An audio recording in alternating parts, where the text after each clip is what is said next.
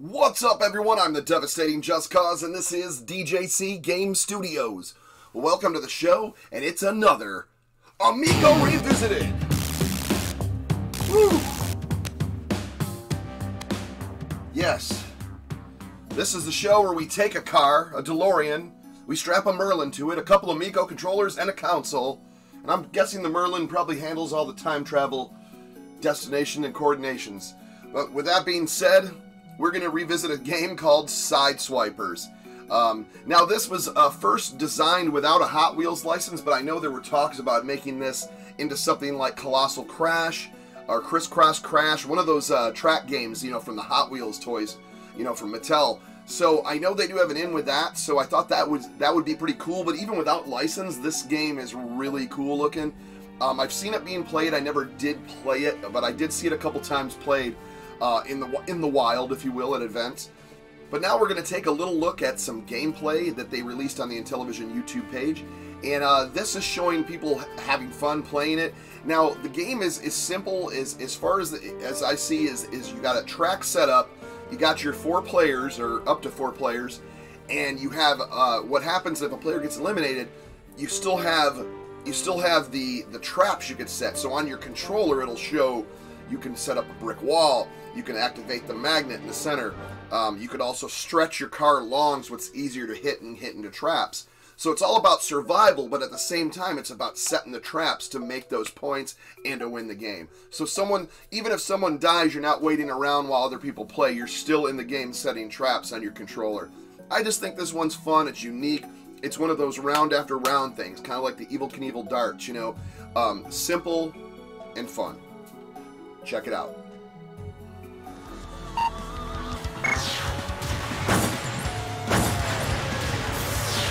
Oh, oh, you. Oh. Oh. oh, Let's see it. All right, you're lasting, you're lasting. Oh! See it. Oh, I got you. Oh no! I got me. got me back. Oh, look at the car got extended. So, and, oh, oh, oh, oh and then the magnet. No, I thought the car was going to get in the magnet too.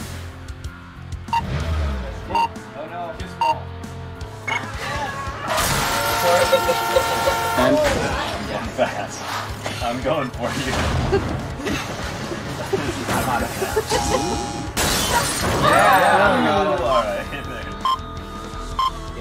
So John's controller is green, so he knows he's the green car. Um, oh no! There you go. There's some. Oh, there's some action there. Let's see a trap, John. Let's see the trap. Oh no! Elongated car. Uh, John sends the brick wall, misses it. Oh, yeah! Magnet got the magnet.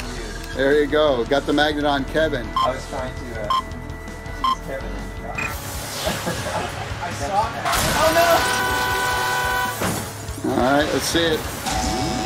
Oh, that's a triple. That's going to be a double. No. Oh, traps everywhere. Oh, oh see, I think that was cool. I think it's a sit-down, quick game, especially if someone's casual about games and doesn't really like video games. These round after round games are easy to get into. I think this is a great way to get your friend or relative or, or younger or older person that are not into games or haven't had much, you know, experience in video games or could care less this is a fun game. This is like that team type game that you yell at the screen like you're throwing up the traps, you're throwing up the walls, you're throwing up the magnets, you know, you're stretching out their cars.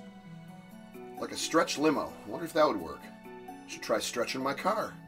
No, I probably shouldn't. My goodness, everything's going off. Anyways, with that being said, just another one to revisit until Amico comes out. Please like, please subscribe, and we'll see you in the next one.